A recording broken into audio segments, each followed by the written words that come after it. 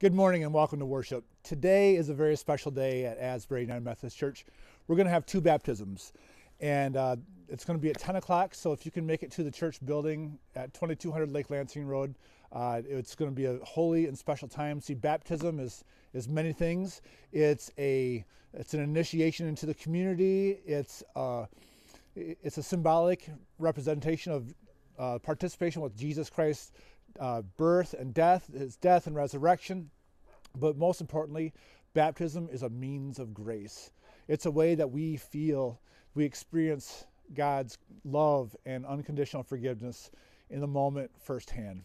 So, uh, would you pray with me the prayer for illumination? And then we'll read scripture and we will go on to our message. All right, pray with me, please. Lord, open our hearts and minds by the power of your Holy Spirit that as the scriptures are read and your word is proclaimed, we may hear with joy what you say to us today. Amen. The scripture today is from the book of Luke, beginning in chapter 3, and I'm going to be starting in verse uh, 15. So Luke 3:15. The people were waiting expectantly, and were all were wondering in their hearts if John, John the Baptist, might be might possibly be the Christ. John answered them all, I baptize you with water, but one more powerful than I will come, the thongs of whose sandals I am not worthy to untie. He will baptize you with the Holy Spirit and with fire. His winnowing fork is in hand to clear his threshing floor and to gather the wheat into his barn, but he will burn up the chaff with unquenchable fire. And then skipping down to verses 21 and 22. When all the people were being baptized, Jesus was baptized too. And as he was praying, heaven was opened, and the Holy Spirit descended on him in bodily form like a dove. And a voice came from heaven You are my Son, whom I love. With you I am well pleased. This is the word of the Lord. And thanks be to God. My friends, you and I are a part of the new creation. Now, Jesus, of course, was the first fruit of this new creation the new creation is something that is ongoing. It's something that was initiated by Jesus and continues moment by moment. Everything is being made new all the time. Paul, in the second letter to the Corinthians, said, Therefore, if anyone is in Christ, he is a new creature. The old things have passed away. Behold, new things have come. See, you see, it wasn't just a one time thing, it's an ongoing thing until all things are made new. So today we begin again all of our journeys into being part of the new creation by being the adopted children of God. We're going to have two baptisms. And I mentioned that, and it's going to be a joy. And throughout this message, I may refer to the two beautiful young ones that are going to be baptized, Ivy and Aspen. Um, but it doesn't just apply to them, it applies to all of us because whether we're baptized or not, um, Jesus continues to make all things new. As I said, baptism is many things. It's a means of grace, it's a public declaration of, of intent, it's uh, an initiation to the community of believers, and it's symbolic of, of Jesus' death and resurrection and our participation in that. So, therefore, if anyone, anyone is in Christ. He is a new, create, new creature. The old things have passed away. Behold, new things have come. Aspen and Ivy are blessed to have parents that are committed to nurturing them and, and blessing them in the name of Jesus. I want you to take a moment and I want you to meditate on the details of your own baptism. When were you baptized? Was it before you were aware of it when you were a baby, or was it later in life? Where was your baptism? Who was there? Maybe you don't have any memories of that. And, and maybe there's no one around that does have any memories of that. But you know what? How many baptisms have you been, been to? How many memories that could you share with someone to tell them the story of their baptism? How much would a, that be a blessing to them? You see, I have this tradition on my children's birthday. I try to tell them in detail the the circumstances of either their birth or their baptism just to give them their own story. But Jesus, Jesus was fully aware when he was baptized. He was 30 when he was baptized. Now, I've never been to Israel, to the place where Jesus was baptized. I've never been to the Jordan River. But what do you think it was like on that day when Jesus was baptized by John the Baptist?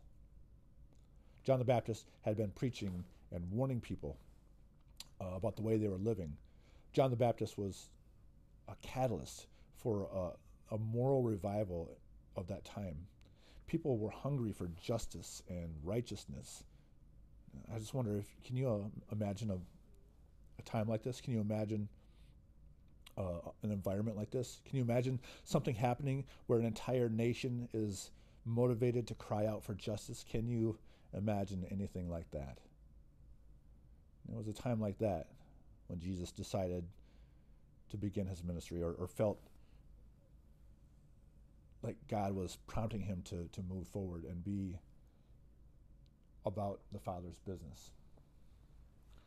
So Jesus went to be baptized by John in the Jordan, and John the Baptist prepared the way for Jesus, right? We know that from our Christmas stories. That was John the Baptist's job. He, he made all those places level and, and, place, and crooked ways straight so that people would be, pre- be prepared for Jesus' message.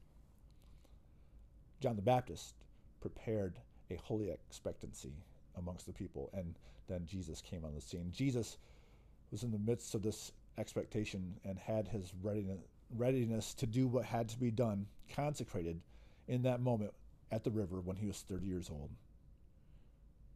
He's saying now is the time. Now, after Jesus was baptized, he prayed, which is not unusual. Jesus often prayed.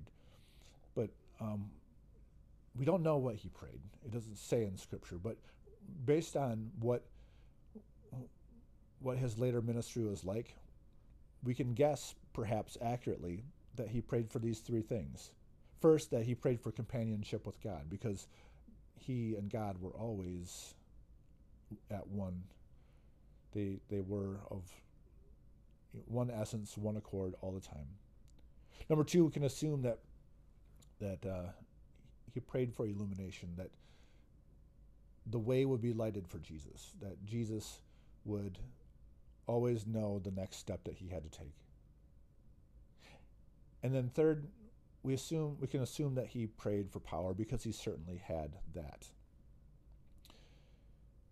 And the scripture said that while he was praying, the Holy Spirit descended and landed on him in the form of a dove. It is presumed that the people saw this dove, that they could see this, this dove descending, but it isn't the, that the people were able to witness this miracle of the Holy Spirit that's significant. No, the, the significant mo- part of this scripture is because this was the moment that Jesus' consciousness was transformed. He went from from being virtually anonymous to a, a revolutionary leader in a, in a mere moment. When the baptism was done, a voice of God was heard saying, Jesus, you are my dearly loved son, and you bring me great joy.